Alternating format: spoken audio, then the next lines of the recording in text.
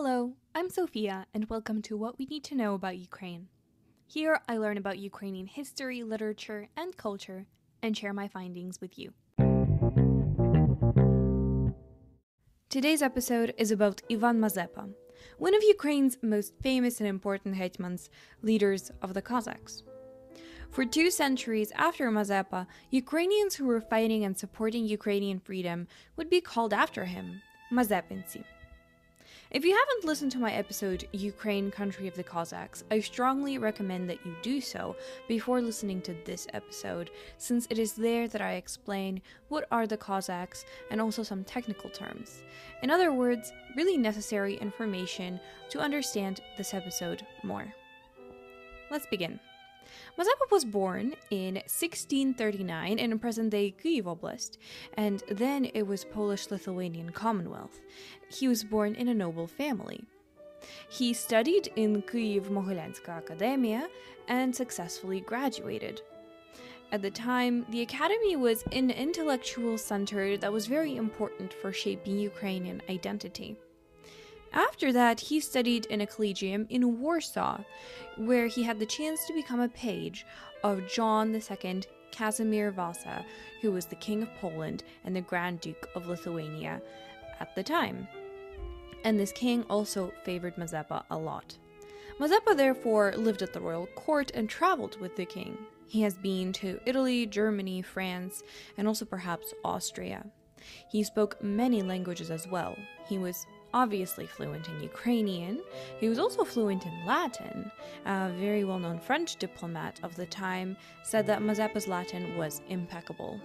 Mazepa also knew Polish, Italian, and German, and he could communicate really well in Tatar and French.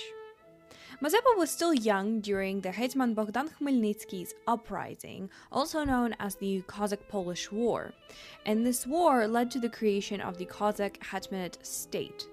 So Mazepa was young also during the fall of said state. After the fall of the Hetmanate state, Ukraine was divided between the Polish Lithuanian Commonwealth and between Muscovy. That is important to note, since we can see that Mazepa lived during an independent Ukrainian state, and that too had affected him.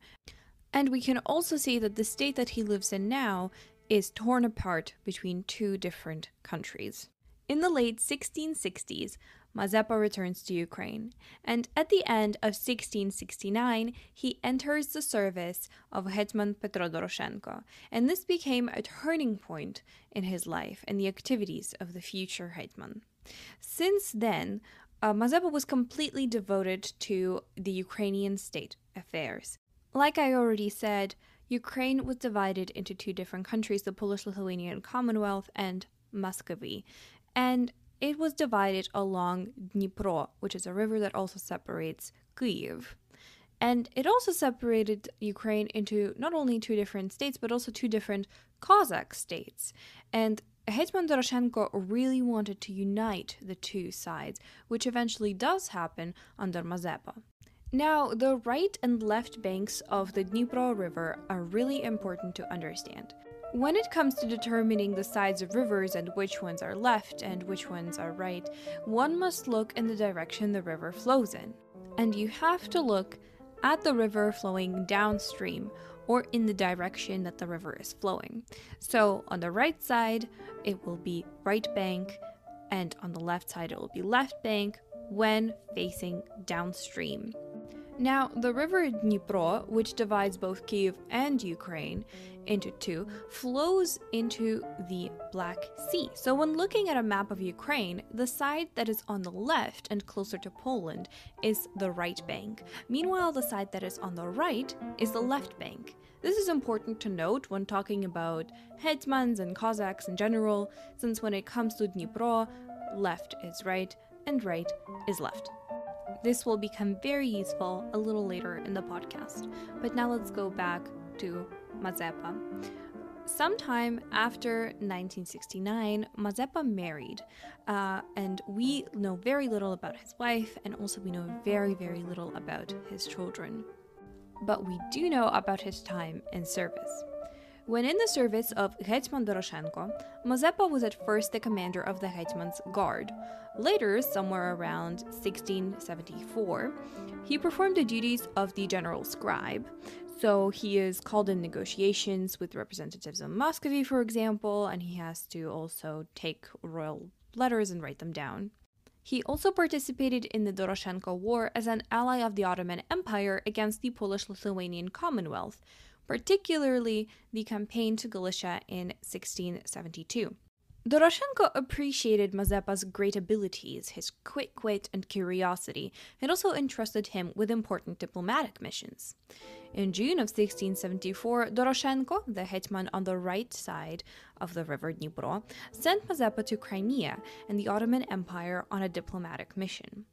On the way to Crimea, Mazepa fell into the hands of the Zaporizhian Cossacks from the left bank, who could have killed him, yet Ivan Sirko, the Koshovoi Ataman, recognized Mazepa and saved him. If you don't know the names of the Cossacks, for example, what title is Koshovoi Ataman, you should really go and listen to Ukraine, country of the Cossacks.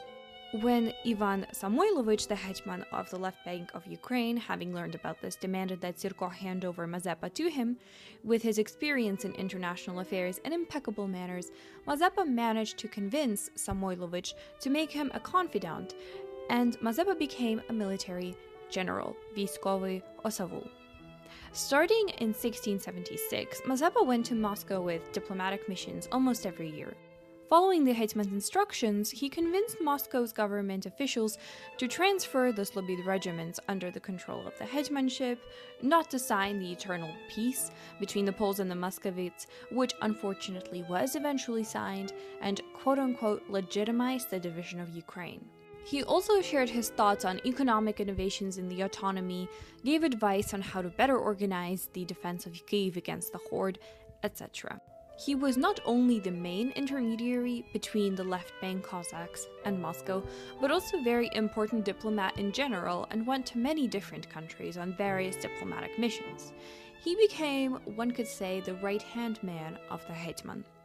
Mazepa was clearly an extremely talented person who could be relied upon wherever Mazepa would be, whatever his position was, and in any circumstances, Mazepa always supported and pushed for Ukraine's national interest, and not those of Moscow or the Commonwealth. But of course, eventually, Mazepa does become a hetman and he does come to power. The bulava, or the ceremonial mace of the hetman of the Cossacks, fell into his hands in 1687 as a result of a conspiracy of the Cossacks, inspired by the favorite of the then Moscow ruler Sofia, Prince Vasily Golitsyn. Hetman Ivan Samoilovich was deprived of power and then exiled to Siberia. Soon Golitsyn himself fell into disgrace and followed in the footsteps of Samoilovich, and Sofia lost her power as well. It seemed that with such a distribution of forces, Mazepa had only a few days to be hetman. And with such uncertain conditions, he managed to retain power and significantly strengthen his own positions. The Cossacks were quite democratic, and they would elect their own hetmans. But because the Cossacks had very limited power, and because of Moscow's control over the left bank, the military council held to choose the new hetman had only formal significance. Mazepa's candidacy was acceptable to both the Cossacks as well as the Tsarist government of Moscow, since Ivan had influential connections with them, being a longtime diplomat there. To Moscow, it probably seemed that Mazepa's heart was close to Moscow, more so at least than the hearts of the other candidates. So during the election, all measures were taken by the Moscow government to ensure the desired election outcome. The polling place was surrounded by a tight circle of the Moscow army. Riflemen and rangers were stationed around the Cossacks. Only 2,000 Cossacks were present, and that is a very small part of the Cossack army. Now, regular or real Cossack elections were different from the ones today. Instead of casting anonymous ballots, they would all gather and yell out the name of the person who they want to elect and who they want to be hetman. Many called out Mazepa's name, and when some to try call out other names, they were immediately and forcefully silenced by the Moscow troops. Ivan Mazepa was elected hetman of Ukraine. It is from this point, though, that the flourishing of Ukraine begins after a period of decline. Mazepa, as a person of power, now had to lead both external and internal affairs. Mazepa's approach to external affairs was quite interesting. First and foremost, Mazepa's goal as hetman of the Zaporizhian army was to unify the Cossack lands of the left bank, right bank, Zaporizhia, and if possible Slobozhanshchyna and the Khanate of Ukraine, as part of a single Ukrainian state under the hetman's regiment to establish a strong hetman's power in a European type state with the preservation of the traditional Cossack system of ruling. Italian philosopher Niccolo Machiavelli wrote in his book The Prince, quote, If an injury has to be done to a man, it should be so severe that his vengeance need not be feared. End of quote. The same thing is with a state. One should not attack or injure another state if they are not certain about a decisive win. So Mazepa chose to remain on a more or less friendly term with Moscow as well as the Poles for most of his career. But he did fight for maximum autonomy in both sides of Ukraine with quite good success as well. And how is that possible? Because Mazepa did manage to unite them, and this is how it happened. In 1702-1704, an uprising led by Semen Palij broke out on the right bank. The reason for the uprising was the restriction of the interests of the Cossacks by the Poles. In 1699, a decision was made to liquidate Cossack regiments in Kyiv and Bratslav voivodeships. The Polish nobility got the opportunity to return their former estates and restore their dominance on the right bank. The Cossacks completely refused to comply with this order to disband the Cossack regiments and transfer the reinforcements to the Poles. In the spring of 1702, an uprising began in Podillia and Bratslav Oblast, which also spread to the territory of Kyiv Oblast and eastern Volyn. The uprising was suppressed by the Polish Muscovy troops. Palij conducted negotiations with Hetman Ivan Mazepa for the reunification of the right bank and the left bank of Ukraine, and did find support, but ended up being arrested and sent to Siberia anyways. In 1704, the troops of Mazepa entered the right bank and managed to unite the right bank and the left bank. Mazepa managed to take advantage of the situation that arose as a result of the war between Muscovy and Sweden, and the weakening of the Polish Lithuanian Commonwealth. Neither the Polish Lithuanian Commonwealth nor Muscovy liked Mazepa's control over the area, but Mazepa managed to control it and not to aggravate either of them too much. Now, the relations between Mazepa and Peter I Tsar of Muscovy, were seriously complicated by the Northern War of 1700 to 1721, also known as the Great Northern War, which broke out due to the rivalry between Muscovy and Sweden on the Baltic Sea where at the time there was trade and Swedish and Dutch merchants were leading in it. But it was necessary for Peter to ensure the preferential position of Moscow's merchant in the Baltics. During this war, the Tsar mercilessly exploited all of the resources of Ukraine. Cossack regiments took part in battles on the territory of the Baltic states, Poland, and Saxony, suffering significant losses. The civilian population had to support Muscovy's troops and work on the construction of fortresses. The reforms of Peter I threatened the autonomy of Ukraine and the independence of the Cossack army from the Tsarist army. Peter I counted on the help of the Polish king and was ready to give them part of the Ukrainian lands. Fearing betrayal, Mazepa began secret negotiations with Peter's adversary, the Swedish king Charles XII, and the Polish king Stanislav Leszczyński. In October 1708, the Polish Swedish army marched on Ukraine, and Moscow's Tsar refused to help Ivan Mazepa. After that, Mazepa joined the Swedish army of Charles XII. In negotiations with Charles, Mazepa raised the question of the creation of an independent Ukrainian state, and received a promise from Charles not to interfere in Ukraine's internal affairs. In the summer of 1709, the Swedish and Muscovy troops met near Poltava, Ukraine, and the famous Battle of Poltava ensued. Mazepa was joined by the Nizovi and the registered Zaporizhian Cossacks, and on July 6, 1709, the Swedish army suffered a crushing defeat near Poltava. Charles XII and Mazepa retreated, and with them more than 4,500 Cossacks. Mazepa had to go to Turkey, where he soon died just three months after, on October 3, 1709. The king brutally punished the hetman's supporters. The hetman's capital, Baturin, in Chernihiv Oblast, Ukraine, was destroyed and burned down with the inhabitants. Women were raped and murdered, and so were the children and the men. The same thing happened in Lebedin in Sumy Oblast, Ukraine. None of the citizens of these beautiful cities wanted to surrender to the Tsarist Moscow troops. A well known French philosopher Voltaire wrote in his essay Histoire de l'Empire de Russie sous Pierre le Grand, the history of the Russian Empire and Peter I, some paragraphs concerning Mazepa and Ukraine, and he noted the very sad truth about Ukrainian history.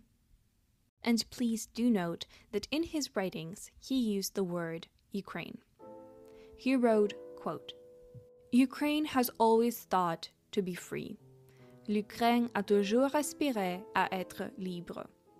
But surrounded by Muscovy, the states of the Great Lord, he means Turkey, and Poland, it was forced to look for a protector, and therefore a host, among one of these states. At first, it came under the care of Poland, which behaved with it as with a dependent state. Then she succumbed to the Muscovite, who did everything possible to enslave her. At first, Ukrainians had the privilege of electing their prince, whom they called general, général en français, and soon they lost this right and their general was appointed by the royal court in Moscow. End of quote. Unfortunately, Mazepa could not unify and lead Ukraine to complete independence from both the Poles and Moscow. But Mazepa did a lot internally in Ukraine and made it a more flourishing, prosperous place than before. There was a huge economic and cultural development during his being hetman. Before 1708, when the Northern War moved into Ukraine's territory, Ukraine was relatively calm and had little direct threats of war. This left money to be invested into churches as well as education. As a zealous supporter of Christianity, Mazepa provided funds for the construction of a number of cathedrals in the Ukrainian Baroque style. In total, more than 200 churches were built during his reign, and 45 of them were under his direct patronage. It should be noted that this large complex of works was provided for the most part by the Hetman's treasury. That is, the Hetman invested the funds collected from the taxes in the construction of the Kyiv Pechersk Lavra, the construction of the large wall around it, and other church projects. Mazepa also made generous donations to both Ukrainian and foreign churches. He was called the patron saint of Orthodox faith in the southeast and especially in Turkey. To this day, in Jerusalem, in the Church of the Holy Sepulchre, a communion table made of gold and silver with a fine carving of Christ's burial and the inscription, at the expense of His Highness Ivan Mazepa, Hetman of Ruthenia, is kept. None of the hetmans have done as much for faith and clergy as Mazepa. But that is not the only thing. Because of Mazepa, the Kyiv Mohyla Collegium acquired the status of an academy, then known as the Mohyla Mazepinska Academia. Thanks to the hetman's financial support, new buildings were built, the number of students was increased to 2,000. It became the spiritual and scientific center of all Ukraine. When it comes to the economic side of things, during Ivan Mazepa's rule, Ukraine maintained its economic independence. Mazepa and his government promoted small and medium sized entrepreneurship in every possible way, encouraging its initiators and organizers with various benefits of an economic and legal nature. During Mazepa's time, national trade expanded significantly, especially with foreign countries. Quote, Exports and imports were oriented towards the west. Traditional Ukrainian trade routes led there. This is in particular showing that Ukraine was by no means dependent on Moscow economically, says history professor Boris Krupnitsky. Mazepa was also the first hetman who took the initiative to stop the predatory destruction of forests. The revival of Kyiv as the ancient capital of the Ukrainian state was also Mazepa's work. The scale of majestic and magnificent construction in Kyiv during the time of Hetman Mazepa is compared to only one period in the history of the Ukrainian capital, the times of the Kyivan Rus. Ivan Mazepa built an independent national state, and the state needed symbols, and the national architectural look of the capital was one of them. It was then that Kyiv was decorated with amazing Ukrainian Baroque buildings. The most famous architectural gems of the capital bear witness to Mazepa's reign to this day. Because it was, at the Hetman's initiative, with his money and his artistic talent, uh, that the following were built or rebuilt uh, St. Sophia Cathedral, Kyiv Pechersk Lavra, Michael's Golden Domed Monastery, St. Kirill's Church. These are some of what remained. And before the communists in the 1930s, we also had a magnificent decoration of the Epiphany Cathedral in the Brotherhood Monastery. During Mazepa's time, Kyiv was reborn as the spiritual center of Ukraine. Its importance and influence extends far to the east and south, and the countries of Eastern Europe and the Orthodox East. It was not only Voltaire that mentioned Mazepa. Lord Byron and Victor Hugo each wrote a poem called Mazeppa. Taras Shevchenko dedicated a few poems to Mazepa, and the Ukrainian poet Panteleimon Kulish wrote a poem as well. Composers such as Franz Liszt and Tchaikovsky wrote music and operas named after him. In total, 186 engravings, 42 paintings, 22 musical works, 17 literary works, and 6 sculptures are dedicated to him. Ivan Mazepa is an incredibly important and wonderful figure in Ukrainian history. He ruled as hetman for 22 years, never had a revolt against him, and was highly successful in developing education, economy, religion, and Ukrainian architecture in general. Mazepa was able to distance himself from Moscow and the Polish Lithuanian Commonwealth, as well as unify both sides of the river. His rule met an unfortunate end, but his valor, his genius diplomacy, and passion for Ukraine truly inspire art, literature, music, and a fight for Ukraine's territorial, cultural, and linguistic integrity.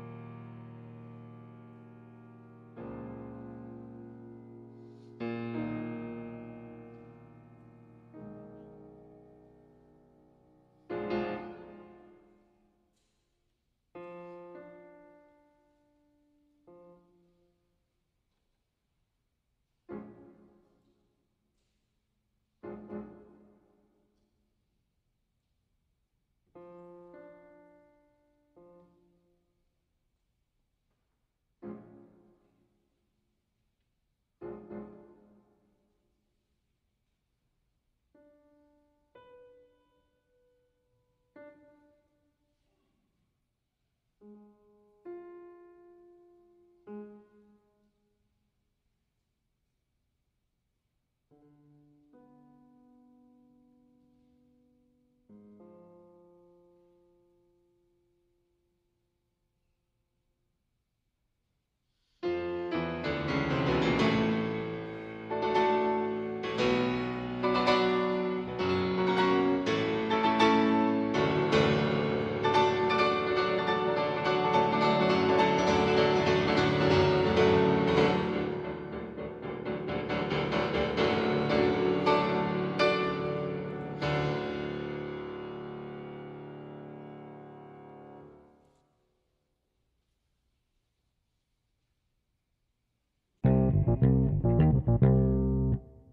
Thank you so much for joining me today, and this was what we need to know about Ukraine this week.